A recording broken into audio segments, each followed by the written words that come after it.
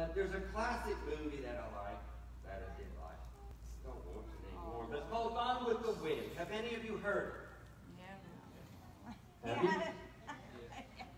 Come on now, I'm not that old. Anyway, I would make my sons watch. We thought I was putting hot oil on them. Oh, Dad, oh, my God, why we gotta sit here? This is going on all day. Good fun. It's only three, four hours. But anyway, believe it or not, Gone with the Wind is the title of my sermon this morning. The message I have for you. The scripture text, is this working, Sir Timothy? Let's try it. Yes, it is. And when the day Pentecost was fully come, they were all with one accord in one place. And suddenly there came a sound of a mi- uh, from heaven as of a rushing mighty wind, and it filled the house where they were sitting. The Lord has chosen a number of different ways, different ways to illustrate the nature and the mission of the Holy Spirit. And with that, let's go before the Lord in prayer, shall we? Heavenly Father, I ask, Lord God, I open up myself to you, Father God, to use me as a vessel. A vessel for you to use to glorify you. Bless this message. Bless the congregation, Lord. Open our hearts and minds to receive it. And I pray, Lord, they receive it as you have given it to me. And let it glorify you in Jesus' precious name. Amen. Amen. Mm. See, the dove is the symbol used for peace. It's also used for gentleness. It's also used for purity and calm. Water symbolizes refreshing, washing, a cleansing. And it's satisfying. Fire is symbolic of purging. See, we don't like that part sometimes. When the Lord is purging us, burning off the job. Get rid of the stuff that's not useful anymore, or purifying us. Nobody will hear say, I want to go through it again. Do you? I don't think so. But it's needed. But wind, the wind, is a symbol that God chooses to show the active nature of the Holy Spirit. And we'll see this in Psalm 139 and 7. Whither shall I go from thy spirit? Or whither shall I flee from thy presence? If I ascend up into heaven, thou art there. If I make my bed in hell, behold, thou art there.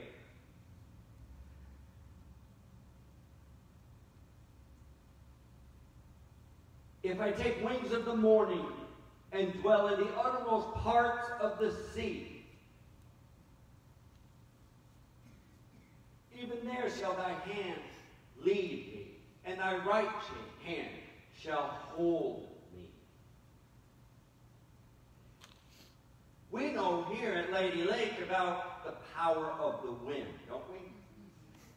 We seen it firsthand down there. Couldn't you see the wind? Did you see that wind coming at you that night?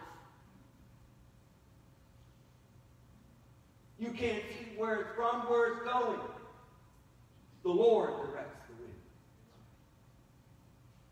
But it's real, is it not? Amen. Amen. So we associate wind with movement. And what great movement and force it had down.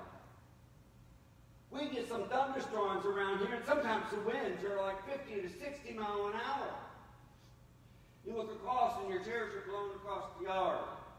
It's sweeping the rain across the road, and you can't hardly see an inch in front of your car. And then you go a little farther, and it's not there. Or if you wait a little bit, it's calm. See, forcible wind precedes a storm and heavy rain. Although it is invisible, it has a unique way of letting us know it is there. Do we agree? Yeah, I think so. So why did God choose wind as a symbol of the unseen reality, the unseen reality of the Holy Spirit. Some could say because he's God and he can use what he wants. I always go with that one because that's the same. God can do what he wants because he is the great I am. Amen. Who shall I say sent me? I am sent you. You can't argue with that. See, because of its because of its unconfined reach in John 3 8 said, The wind bloweth where it listeth, and thou hearest the sound thereof, but canst tell whence it cometh and whence it goeth. So everyone that is born of the Spirit. It's kind of futile at times to say or to confine the Holy Spirit. Yes, one can quench the Spirit. It grieves me when they do it, so I know it grieves God.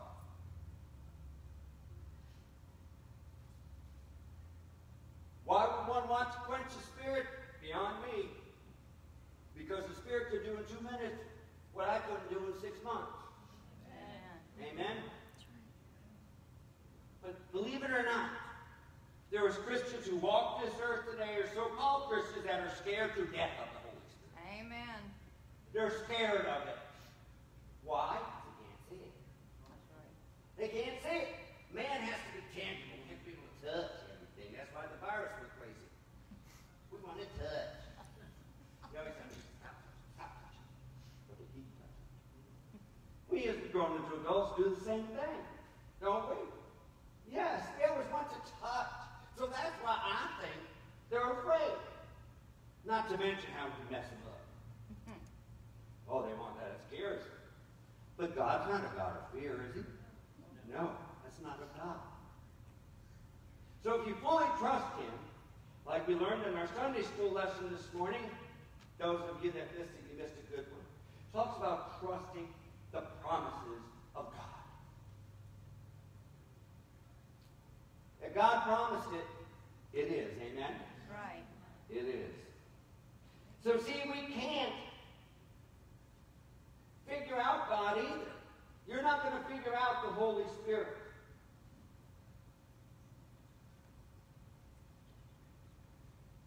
When you think you have it figured out, He will do it differently. So it's futile to try to confine it. He moves in another direction when you can't figure him out. You can't confine him to your likes or your dislikes. Oh my. Oh my. Oh me, oh my. We think we have control of stuff. I'm going to tell you something. You might want to brace your chairs. You have control of nothing. Right. God has control of everything. Amen?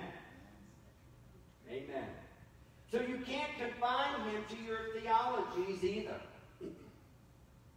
You can go to the best seminaries in the world.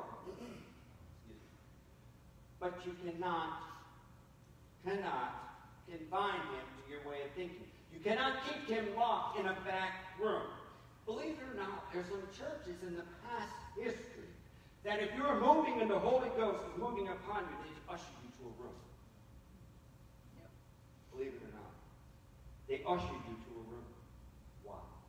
Because you were disrupting their sermons that were printed a year ahead in advance. It's true. Sorry, I'm talking truth. I can guarantee you my sermons are not printed a year in advance. But they would usher you to a back room. You cannot confine the Holy Spirit, the third person of the Trinity, to a back room. That's like trying to control the wind, that it won't blow across Lady Lake at all anywhere today. Can you do that? No. He reaches across boundaries and denominations. Do you know where Pentecostalism started? A Methodist and a Baptist preacher. Yep. Yep. That's where it started, right, sister? Amen. That's why I like to call them Baptist apostles. Because sometimes they got the spirit moving more in there than you do in a church of God. Sorry to say at times. But it's true. But anyway, he reaches across denominations or movements. You cannot confine God. He reached into a prison where Paul and Silas were bound. It wasn't like Lake County Jail. It was the inner of the inner of the inner of the most filthy, dirty prisons. God found in there. It said in Scripture, if I go to hell, you're there. If I go to heaven, you're there. North, south, east, west, he is there. Amen. You cannot confine him. Praise God. Hallelujah. I need him all the time. Amen. So he even reached over to Samaria where Philip was. He was having a revival. But perhaps the biggest and the most powerful move of the Holy Ghost is when he showed up in the upper room where the 120 were seated. You cannot confine him.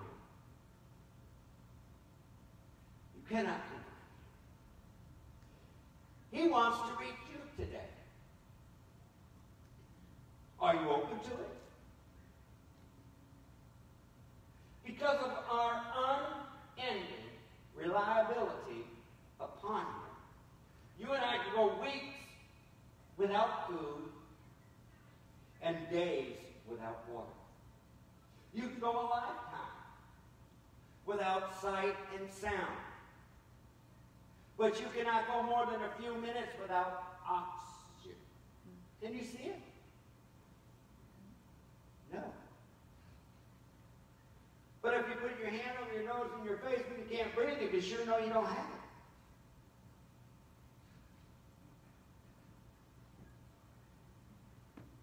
So it's a needed thing, is it not? I need the Holy Spirit when I get up in the morning. Yes. I need God every part of my day. He is my strength, He is my strong tower, and He is my refuge. And I believe He's yours too, don't you? Amen.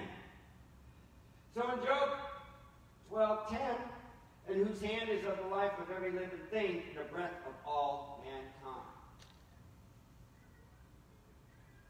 I agree with that, don't you? He is the living thing. He is the soul of every living thing.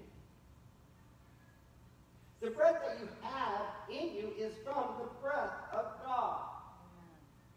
Amen. He breathed into you and gave you life.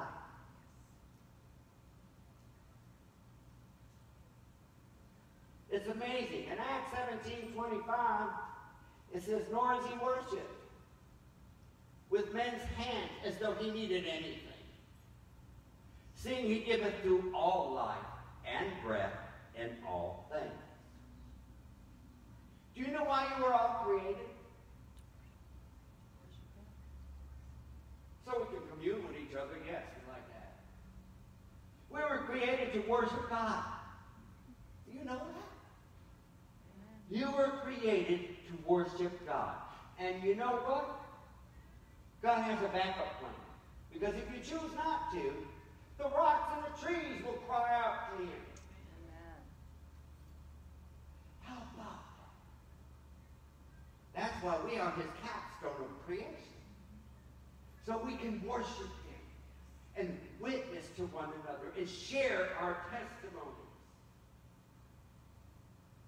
Our testimonies are powerful things, and they're unique to you, and you, and you.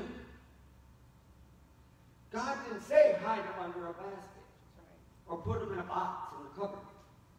He wants you to shine with a bright the light of God. He is the light of men. Do you know your words of testimony are powerful and there's people out there that need to hear them today?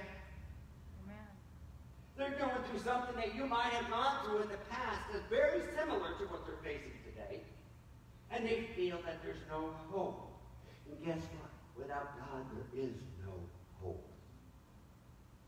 So they're not far off. But if you share your testimony of what God's done for you in that kind of situation, what an uplifting and encouraging thing that is. Amen? Yes. Yes. It's kind of hard for someone to witness to somebody if they were not or ever in that situation. It's kind of hard. Because what will that person do? How do you know? You don't know that. If you haven't been in that situation, you can't say, well, I do, if you don't. What do you think? Do you think you'd be more valuable if you did witness to that person if you weren't in that situation? That's why God allows us to go through different trials and tribulations in our lives. To share with one another and encourage with one another. Share your testimony, church. Share it. Let's look at another one here. I didn't write every one down. Acts 2 7, and they were all amazed and marveled, saying one to another, Behold, are not all these which speak Galileans? Wow. Wow. Job 33 and 4 said, The Spirit of God has made me, and the breath of the Almighty gives me life. That breath that He gave, that wind that He blew into you, can you see it? Again, I say no. Well, if you want to test God, put your hand over your face or a plastic bag and see how long you can go without it. It won't be long. Like I said, you go without food for weeks, water days, air three to four minutes and brain damage starts. Am I right, nurses?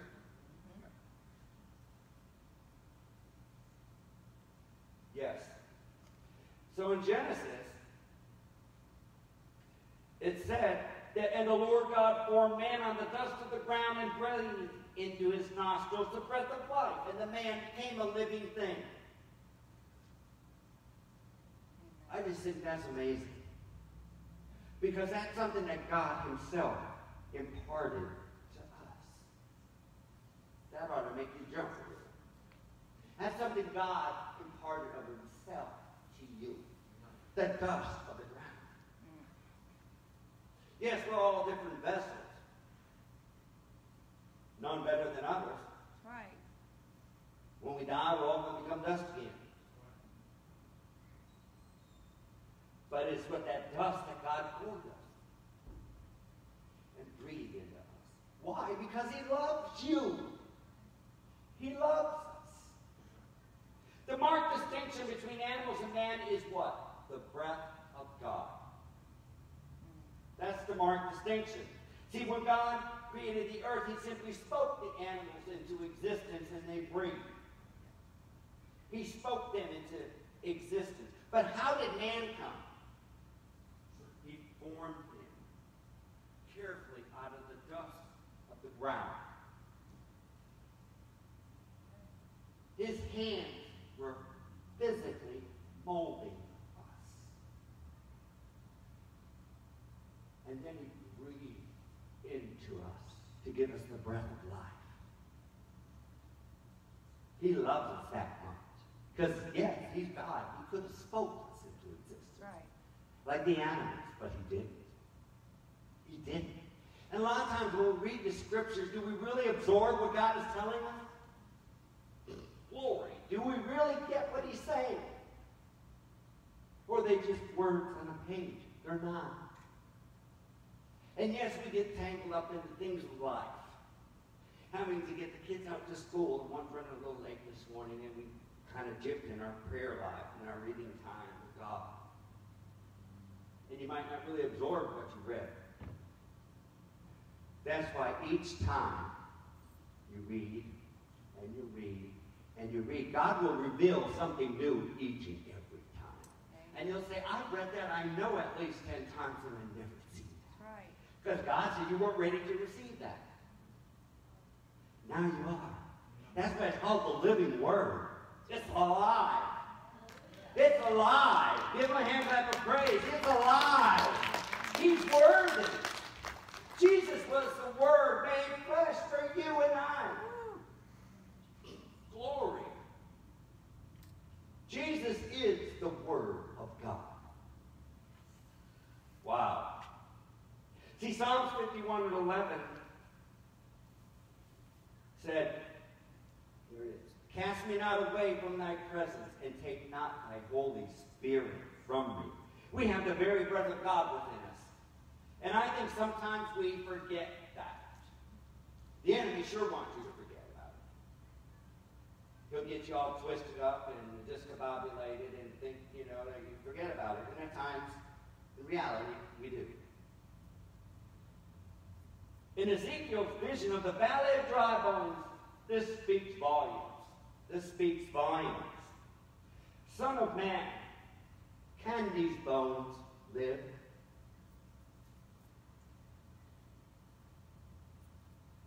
Thus saith the Lord God to these bones, Surely I will cause breath to enter into you, and you shall live. God began to breathe the bones that were resurrected into an army. Ezekiel in 37.10 said, So I prophesied as he commanded me, and breath came into them, and they lived and stood upon their feet, an exceedingly great army. They did, they came alive. Well, guess what's missing? The Spirit. That's going to come. This is Israel. It's going to come. God said it, it is. Amen? See, when Jesus was getting to go, getting ready to go back into heaven, the Bible says, and when he had said this, he breathed on them and said to them, Receive the Holy Spirit.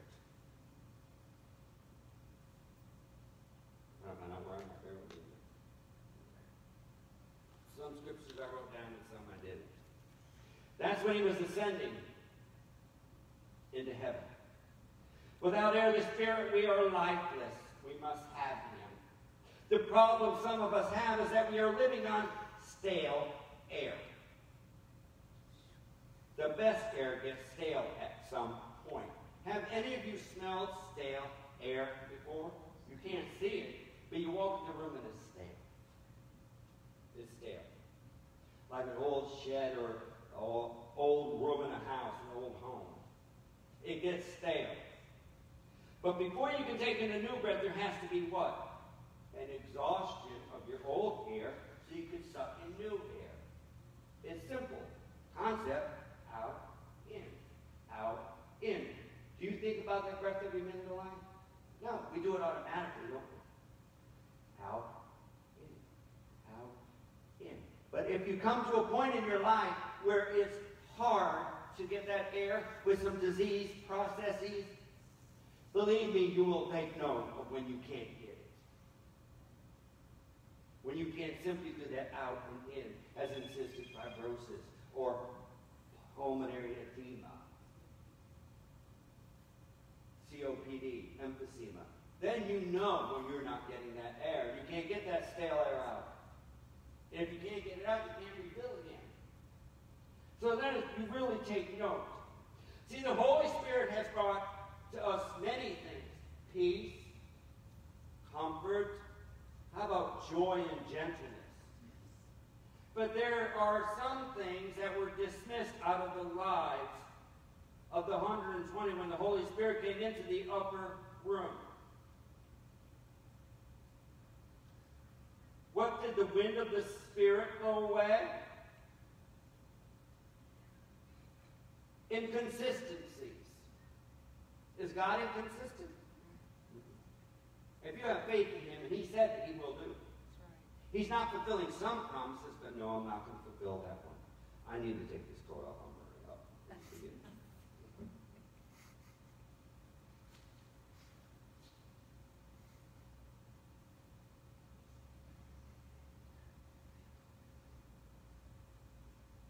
See, inconsistency. What are we inconsistent crew to that Jesus lived with. And he left here to build his church. Was Peter always consistent? No. Doubting Thomas? There is one thing that we can say about Peter. He wasn't afraid to try. Lord, can I come out there on the water with you? Come. How about that? Did anybody else get out the boat? What about? Mm-mm.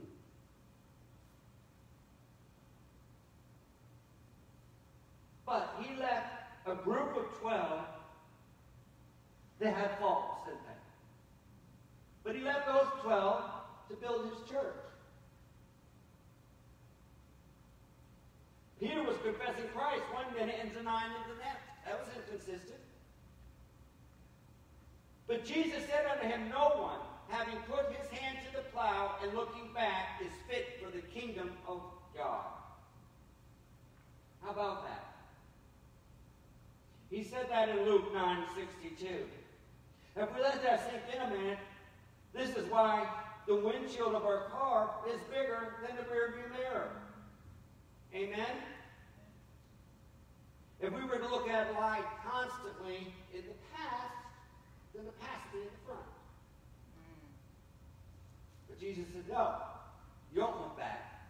We talked about looking back this morning with Lot, with Sodom and Gomorrah. I said, don't look back. Go. But the wife had to take one last look of things she was leaving of salt. Temper. Peter cut off the ear of the high priest's servant's ear. Then Simon Peter, having a sword, drew it and struck the high priest's servant and cut off the right ear. The names, the servant's name was Malchus. John 3, 18. Let's see how far I'm at here.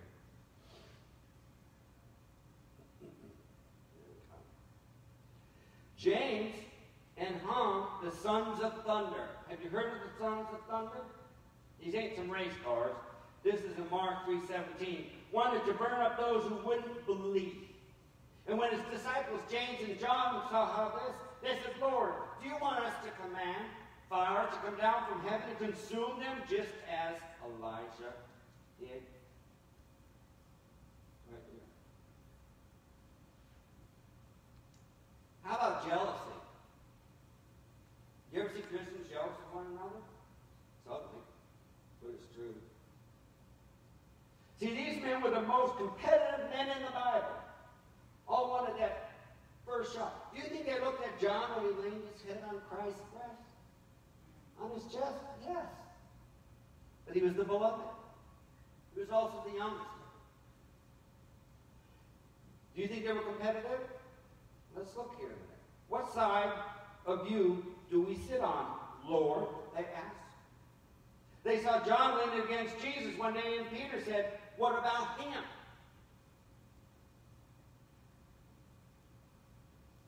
If you have children, you hear that frequently. What about him? What about her? I didn't do it, not me. Not me. I don't know about you if you raise children, not me to live in your houses. They're invisible like the wind. But they move through and cause chaos. Because if you ask the children what happened, not me. Not me, it wasn't me. And we often said, well, let me find that not me. He's going to get spanked. Never found it. Did we? Timidity. Being timid. Do you think the disciples were timid? After the Holy Ghost, they were baptized with the Holy Ghost, they were timid no more. Before Pentecost, they were not bold enough to even witness.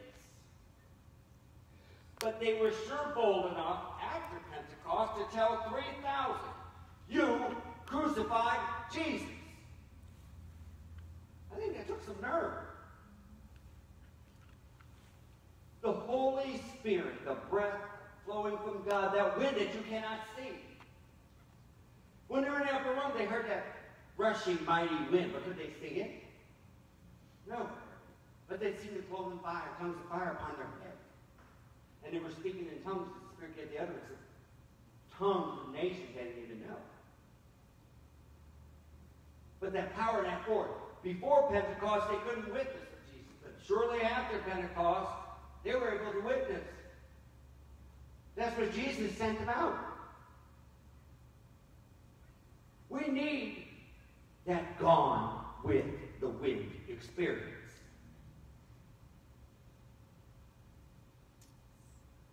Have you had it gone with the wind experience? It's powerful. Without it, they were ineffective. Have you ever had any that was ineffective? It just didn't work. It's not effective. You'll go to doctors about something and he gives you a medicine and it's not working. Well, it's supposed to. Well, it's not. This is why we're not cookie cutters. What medicine may work one work well for one may not work well for another. That's why they call it practice. They're not done by no means. God gave them that knowledge. I'm not discrediting it. But what way worked for one may not work for another. They were ineffective. They could not cast the devil out of the little boy. Why? Because they just didn't have the power. The authority. After Pentecost, they raised a lamb, a lame man. They got him up. How about money, gold, silver? Gold, silver, I remember what I have. I will give you. And they got that lame man up, and he walked. Walk. Are we effective? Are we effective Christians? We need to. That precious gift that God gave us, are we bundling in it? If you are, you're plugging the overflowing of the Holy Spirit. Do you know that? He wants to fill you, but he doesn't want just to fill you and stop. He wants to fill you. You got to pour it out. Fill me again. Pour it out. Fill me up. Pour it out. That's what he wants. That's the effectiveness of the Holy Spirit. Be a contagious Christian. Contagious. Glory. It's power. Into from on high. Gone with the wind. How about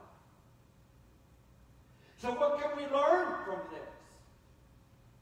Well, we learn of there's plenty of illustration and experience that we see from before Pentecost to the after Pentecost. The difference in the 12 disciples themselves. We are where we are today because of the 12 disciples. Did you know that? The Word of God spread. The power of the Holy Ghost, Holy Spirit, that wind, that rushing mighty wind. God causes the wind to blow. It causes the trees to sway.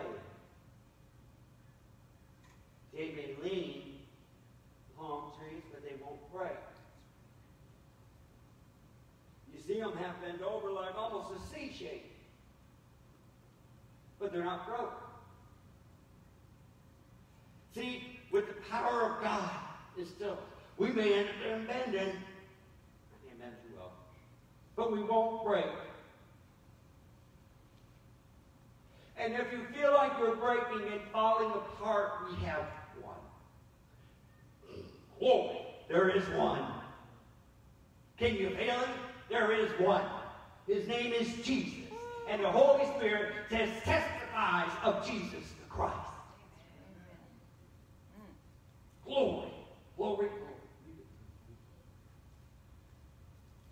Can you imagine if everybody walked with God? Guess what? There's coming a day when that new Jerusalem comes down from heaven. As Pastor says, we climb on board. Train's pulling out. While the Antichrist is moving in. He must be powerful, the Holy Ghost, because the Antichrist can't come until he who lets and he is the Holy Ghost of God. Hallelujah. Give him a hand clap of praise. Jesus sent him. He said, I will go, but I will send the Comforter to come to you. He said, I will send him to comfort you, to uplift you, to energize you. That's what the Holy Ghost of God does. does. He energizes you. Yes. Are you energized? These batteries may fail, but God never fails. God never fails. He is the wind. He is the Holy Spirit. To be gone with the wind. I'd rather be gone with the wind than just sitting there rotting. Because that's what happens if you don't take the word of God and spread it. You're letting it rot. God didn't intend that to happen. He saved you for a purpose. He saved you. He called you out of that darkness into a marvelous light for a reason. Are you holding it to yourself? We don't light a candle to put it under a basket where no one can see. You're called to be light into the darkness. You are called to be salt to the earth. You are called to be witnesses of the God Almighty, God the Father, the Son, and the Holy Spirit. You were called. What are you doing? I want us to be an infectious Christian. That the virus can go around, why can't we go around? Why can't we go around? See the difference in the disciples before Pentecost and after Pentecost. Where do you think they were more effective? Before or after? Amen. Amen. If you want to be gone with the wind and have the breath of God just flow in and out of you, like the oxygen in every breath you take, you can just stand to your feet. If you want more of God, stand where you are. If you want to be effective, stand where you are. If you want to be baptized with the Holy Ghost, stand where you are. Just ask. Ask and it shall be given. He's got so many gifts for us. And we as Christians, I don't know if we're trying to be polite or what. We just want a small portion. God says, no, let me give that whole heap of potato on there. You just give me a spoonful, I'm going to give you a whole pot. Yes. That's what God wants for his children. Hallelujah. Hallelujah. God is infectious. Be gone with the wind, Christians. Don't be stale air of a dense old shed or an old room in a house. Be effective. Be infectious. Be God's hands and feet extended. He loves you that much that, like I said, he personally, with his hands, formed you. He could have spoke to you, but no, he formed you. And then he wasn't done. He let the breath of God breathe into you. He wants you to be infectious. Give him glory, church. He's worthy. Oh, hallelujah, hallelujah, hallelujah. Praise you, Jesus.